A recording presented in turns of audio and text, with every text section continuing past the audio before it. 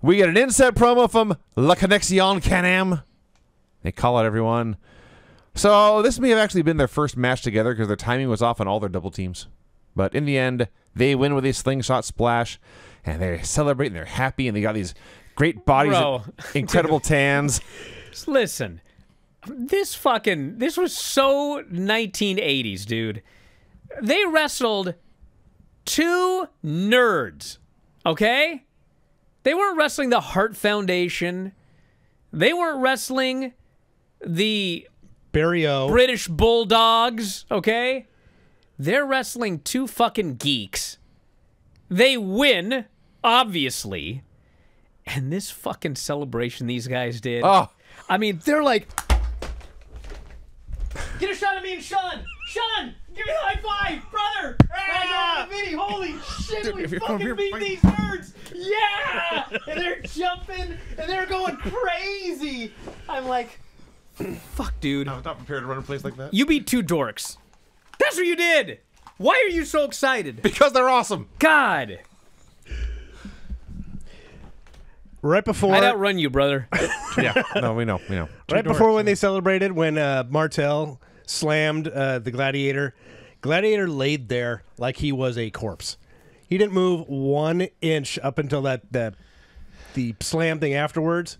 That guy was acting like the Undertaker, just a corpse.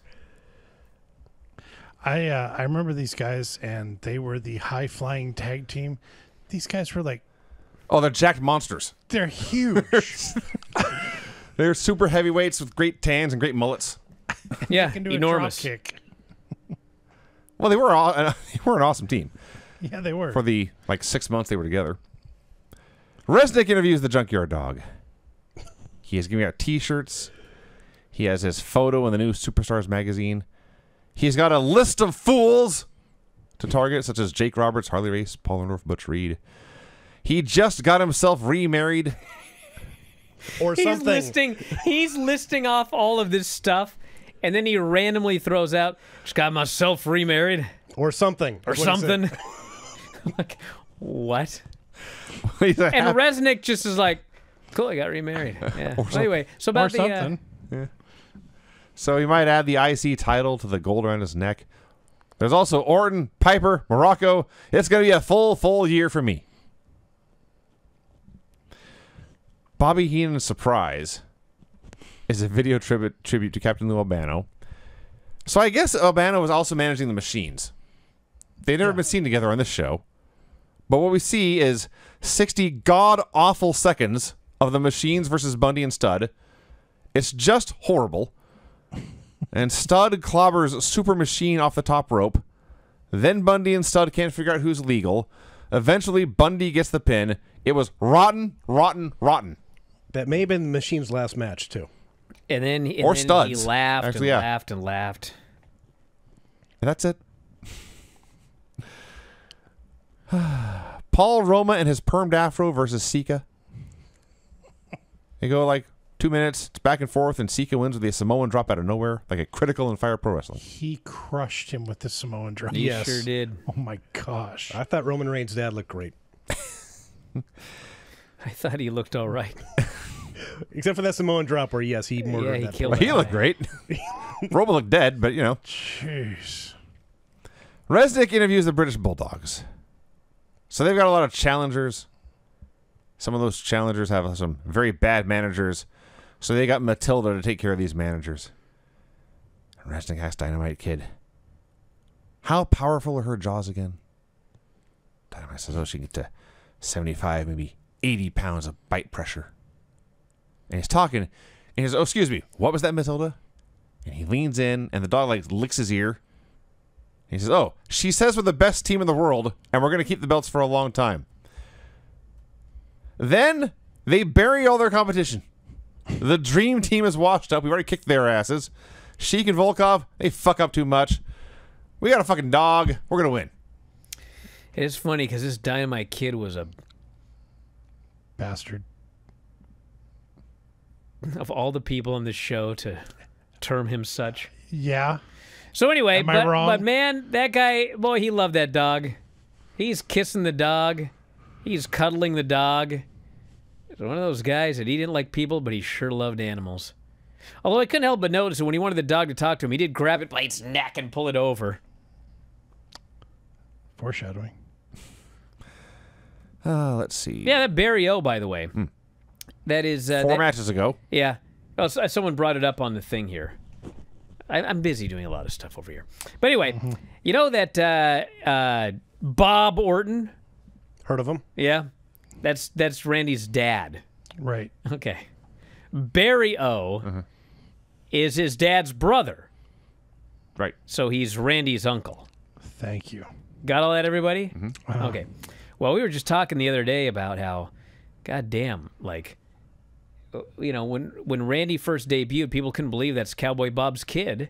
But when you really look at Cowboy Bob, especially now that Randy's in his 40s, it's like you could totally tell that's the guy's dad. Oh yeah. But man, you look at Barry O, and it's like he doesn't look like either of them, like at all. He looks like the Renegade. Remember the Renegade, Little. the guy that did the uh, Ultimate Warrior gimmick in WCW? Yeah. He looks like the Renegade. Like it's just it's bizarre. Like some people, some people in the same family, it's like uncanny how much they look like each other. And then there's old Barry O, looks nothing like his brother, looks nothing like his nephew. It's just a guy. Anyway.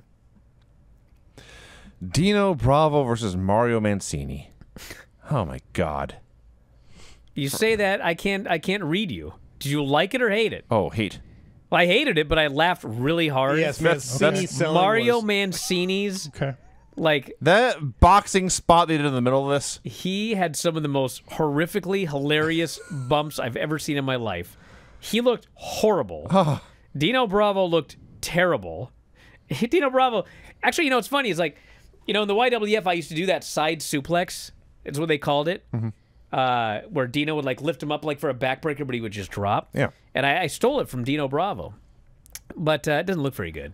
I, I bet you did it better than him. I'm sure he did. Yeah. And he, he hit it in this match, and uh, I forget what Gorilla said. Something like, uh, he said something like, um, odd suplex type thing. I believe that's what he called it. Pretty close to what he said. Yeah. Weird suplex type thing. Can't remember what he called it, but it was like, yeah, it looked like shit. This match is terrible. The crowd turned on it, Jeez, I wonder why. just booing the entire affair. Because it sucked. Yeah, but match, matches suck on the show every week. Think about how bad this had to have been. It was. Yes. I watched it.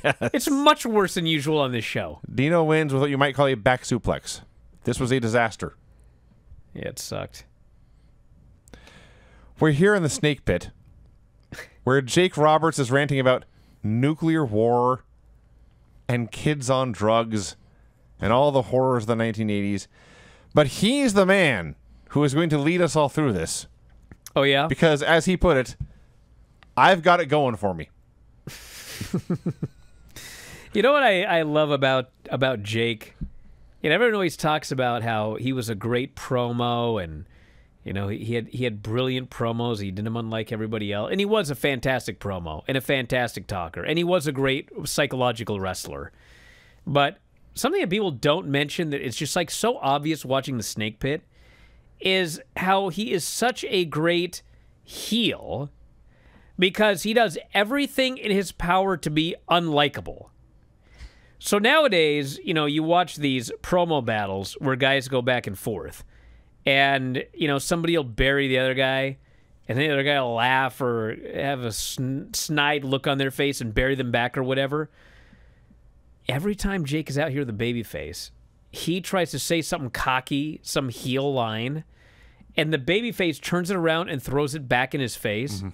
And Jake never doesn't sell it Oh, it's awesome. if anything, he oversells it. He gets so angry to have it thrown in his face. He starts fucking jumping around in circles. He's so mad. He's so angry that they they got him on that one. And man, you never saw someone sell like Jake for these uh, these promo battles. Hogan eventually just brings himself out. You're tired of Yes. listening to Jake, and they go back and forth. You run with the devil. Yes, Jake says. I run with all the Hulkamaniacs. If you're the snake, when are you going to get the courage to strike? Basically daring Jake to hit him. And Jake knows he's trapped. He can't hit him because he actually is a coward. Yes. But he doesn't want to be proven to be a coward, but it's happened. So he's like, ah! He's so mad. He's jumping around like Rumpelstiltskin. yes. and Hulk just leaves. He just walks off. Jake's humiliated on his own show. It was never about being a cool heel for Jake Roberts. He was a shitty, evil man, and when the baby faces got one up on him, he'd sell it big. So as a fan, you're like, yeah, Hogan only- sure told him. Not only did Hogan leave, he actually turned his back on Jake Again, Roberts. yes. Yes. I was curious looking at this to see how old this old man Hogan was at the time. He was 33, Yeah. Yeah. Yeah. and Jake the Snake was 32. Oh. So basically, if it were 2024, they'd just be called up from developmental. Yes. Yeah. Thank you for watching. Make sure you subscribe to the channel and click that notify button, and you'll never miss a video again.